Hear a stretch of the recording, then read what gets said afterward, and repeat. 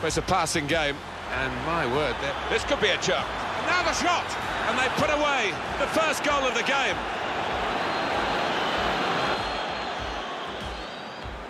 He's Going to cross it. Icardi!